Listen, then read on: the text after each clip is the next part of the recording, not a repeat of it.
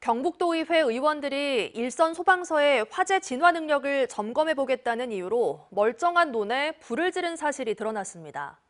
도의원들의 권한 남용으로 인해 소방력을 낭비했다는 비판의 목소리가 나오고 있습니다. 안동문화방송 이도훈 기자가 보도합니다. 지난 18일 오후 3시 40분쯤 경북 상주소방서에는 논두렁에 연기가 난다는 신고가 접수됐습니다. 신고 8분 만에 소방 펌프차가 도착해 완진까지는 불과 20초 남짓. 모닥불 수준도 안 되는 소규모 화재였습니다.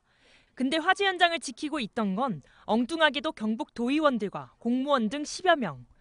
경북 도의회 건설 소방위원회 소속 의원들이 행정사무 감사 과정에서 일선 소방서의 화재 대응 능력을 직접 확인해 보자며 화재 상황을 연출한 겁니다. 경북도의회 건설소방위원회는 볏짚 두 단을 인근 도로로 가져와 불을 지폈습니다.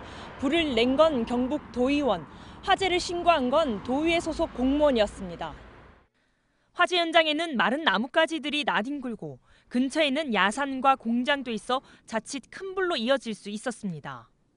하지만 도의원들은 소방대원들에게 신속하게 출동해 진압을 잘했다고 칭찬과 악수까지 한 뒤 현장을 떠났습니다. 소방 공무원 노조는 의원들이 도민의 안전을 볼모로 권한 남용과 갑질을 저질렀다며 강하게 비판했습니다. 얼마나 경각심을 가지고 왔겠습니까? 그런데 현장에 도착해 보니 도의회 관계자들이 구경하고 있는 이 상황에서 얼마나 허탈하고 의원들은 이유가 있었다고 항변합니다. 올해 7월을 비롯해 두 차례 경북 영양의 화재 현장에서 소방관의 장비 작동 미숙으로 피해를 키운 사례가 있어 불시 점검이 필요했다는 겁니다. 분사가 안 되면 이건 잘못된 거다. 그래서 어, 연속적으로 2년 이런 일이 발생을 해서 그 분사 부분에 대해서 한번 출동할 필요, 어, 점검할 필요가 있다는 비난 여론이 들끓자 경북도의회는 행정 사무감사 관련 조례에 필요한 경우 현지 확인을 하도록 돼 있다고 반박하는 한편 주민과 관계자들이 불편을 느끼지 않도록 감사 방법을 보완하겠다고 밝혔습니다. MBC 뉴스 이돈입니다.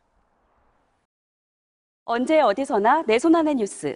광주 MBC 뉴스 유튜브 구독으로 함께하세요.